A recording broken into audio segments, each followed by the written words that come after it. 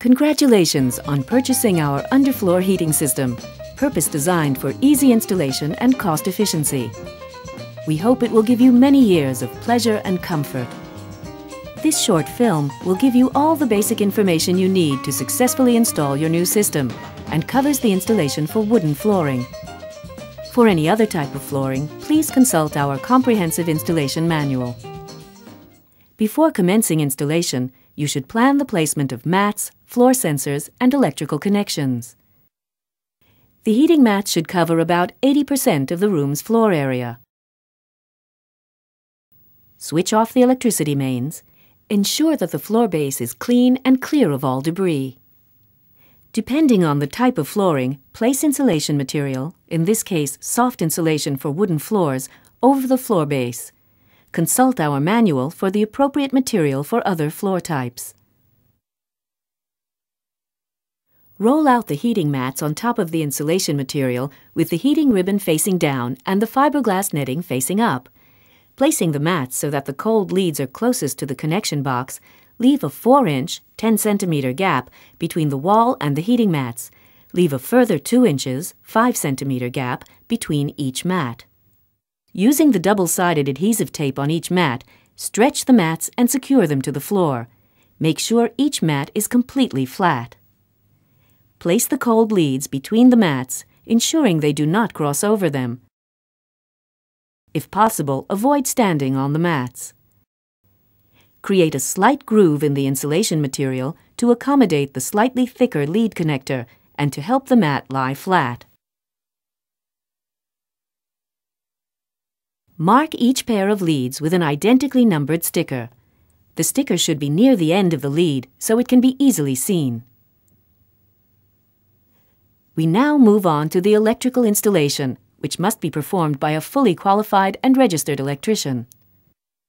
Install the connection box and the thermostat box according to local safety and building codes. The best position for the control thermostat box is 5 feet 1.5 meters above floor level and as far as possible from fireplaces, direct sunlight, windows, doors, or anything that could affect accurate temperature readings. Install electrical conduits to both the connection box and thermostat box. Install the floor temperature safety sensor between two heating mats at least 20 inches 50 centimeters from the wall. If installing in wet areas, place a grounding mat on top of the heating mat. Refer to our installation manual for more detailed instructions. Using the conduits, bring the cold leads from the mats to the connection box and the floor temperature safety sensor leads to the thermostat box. Making sure you can see the numbered stickers you attached earlier, expose the conductor in each lead. Conduct measurements of the resistance of each heating mat separately. Verify that the values you obtain are in line with the resistance value printed on the specific mat sticker. Conduct measurements of the insulation for all heating mats at the same time make sure there is no insulation problem.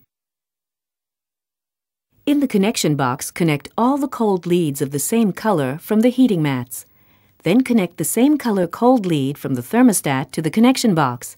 Insert each group of same colored leads to one connector.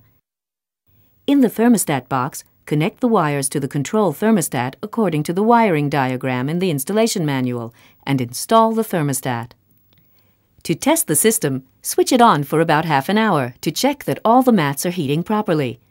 After the test, switch off the system and leave the mats to cool, and then simply lay your floor covering in the normal way, according to manufacturer's instructions. If during installation you wish to ensure that there are no breaks in the circuit or any incorrect connections, use the AHT Screamer Connection Monitor. Disconnect the mats from the electricity supply and then connect the screamer according to the instructions on the device. In the event that wires come loose from terminals or damage occurs to the heating mats, an alarm will sound and a red light will be activated. To simulate a damage condition before beginning work, press the test button. Place a caution label on the connection box to indicate that an underfloor heating system has been installed. And there you have it a safe, durable, efficient underfloor heating system to keep you comfortable and give you pleasure for years to come. Thank you for choosing our underfloor system. For more information, please visit our website